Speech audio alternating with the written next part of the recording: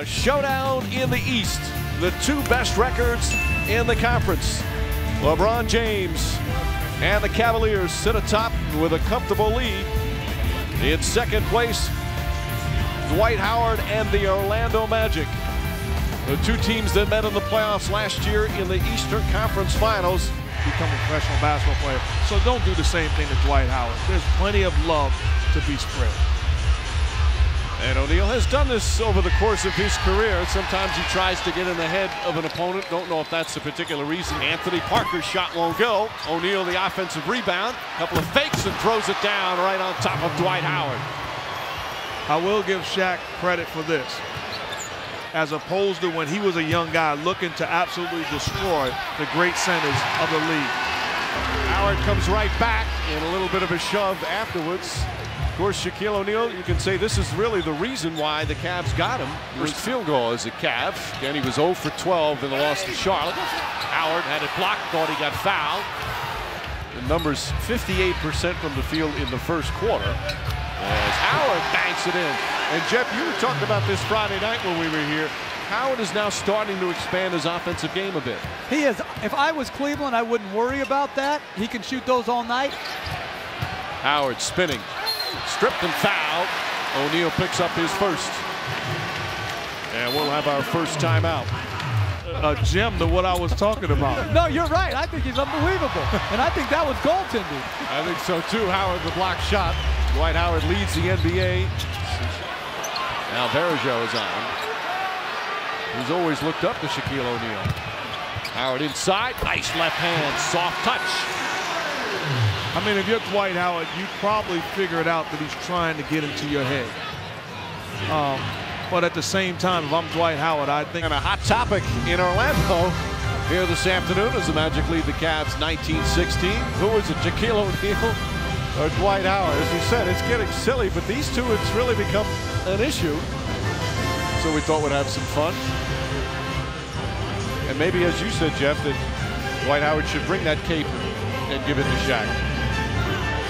Well, it's really, they're both, I don't know about men of steel, but they're both the real deal. Because Shaquille O'Neal is going to go down as one of the top 10 players to ever play the game. Howard, left hand, throws it in. That's his second left-hander. Orlando back up by three. But you look at I think the upside is, is great when you insert him into the line. shot clock down to one. West inside, blocked by Howard. And a 24-second violation. And I was surprised Cleveland didn't try to go two for one there. Gets away again with the left hand. Impressive move for Howard, who's got 11 first quarter points. James pulls up. And short to end the first period. A strong one for Orlando. A fun one if you like watching stars. LeBron James, superb as always in the first quarter. Does have an impact, and there are nerves involved. Jamison's job is Shaquille O'Neal with the big time putback. His job is just, there's no pressure on, on LeBron James, they can deal night. Oh, O'Neal on the fingertips. Uh, the assist from Anderson Varejao. The second quarter from Orlando. Howard up and under. Dwight Howard very sharp in the early going with 13. I like that he didn't settle. Put the ball on the floor and make a play. That time attacking Shaquille O'Neal. Varejao short. No, no question. He he has more variety in his shake game. Oh, how about O'Neal putting that in? I I was stunned by seeing a seven foot three, 350 pounder jackknife in air. I mean, I'm not sure that's a foul, but uh, to me that's not a foul. But anyway, it's just that finish was both lucky and incredible. So he picks up his second foul. Shaq has two fouls. As a word for Tony Brown as he walks off the floor.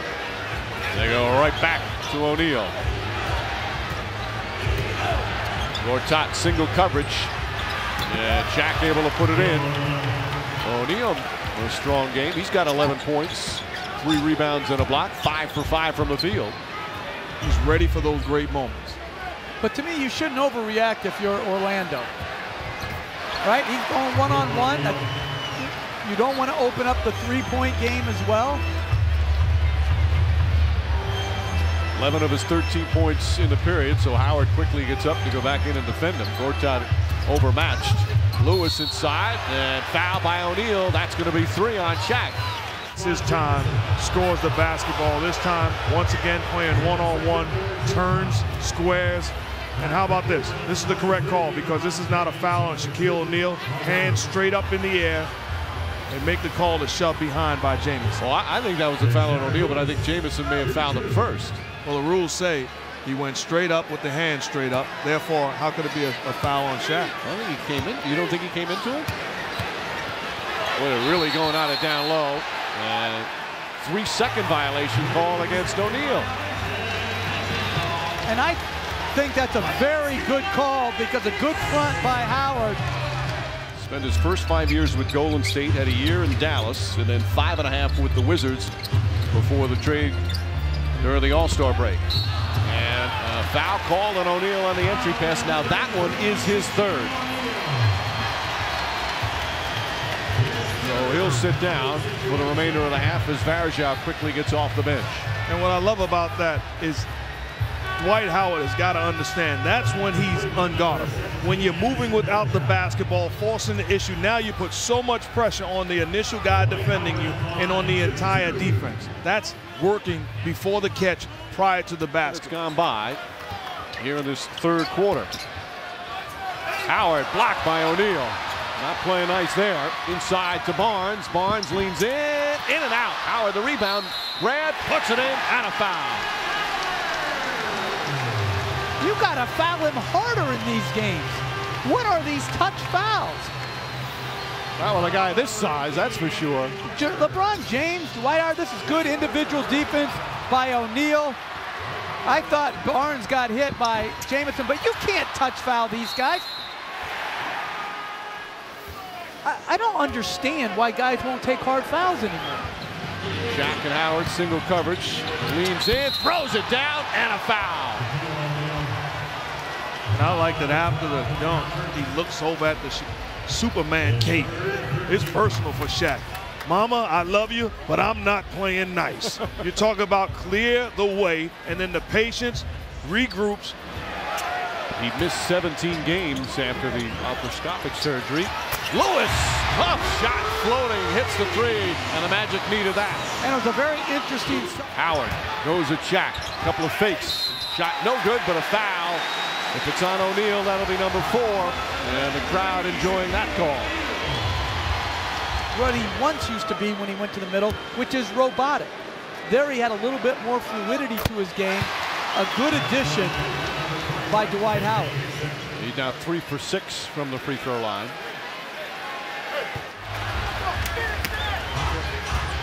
Joe right up into Howard again. Howard drives and draws the foul. Howard will shoot his 10th. Tip won't go. Jawad Williams back up, missed it again. Ball batted around. West comes up with it. Back up and puts it in. O'Neal playing with four fouls. Little shake and bake move, and he shuffled his feet. To me, that didn't look like a traveling violation by Shaq. Puts the ball on the floor. Still has the still has the pivot foot look like tough call. Down the other end, Howard double team. Jamison doubles, kicks it out Redick. Redick wide open three, knocks it down. Magic back up by two. As Jeff mentioned, Pietrus had a very strong series last year. Pass inside to O'Neal and lays it in. So you got to foul him there.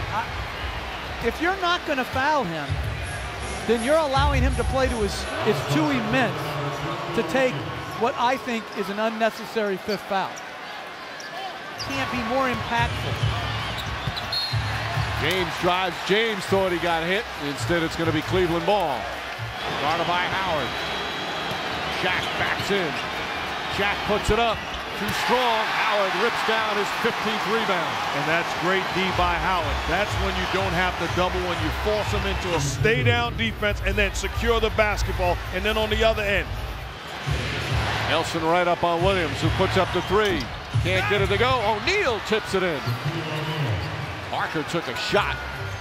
Carter open, lobs it into Howard. Howard back up and gets whacked from behind by Jamison, who's just fouled out of the game. And that was great patience by Vince Carter. That will do it. A huge win for the Orlando Magic as the Cleveland Cavs lose their third consecutive game, their first three-game losing streak